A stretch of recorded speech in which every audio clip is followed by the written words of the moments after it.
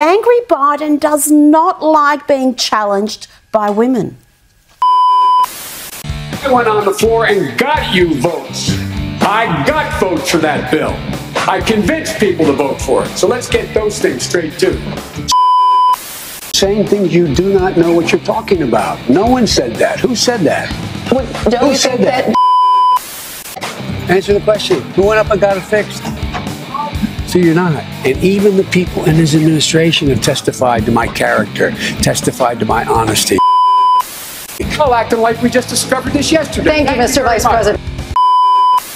Finger in the face either, gentlemen. My God.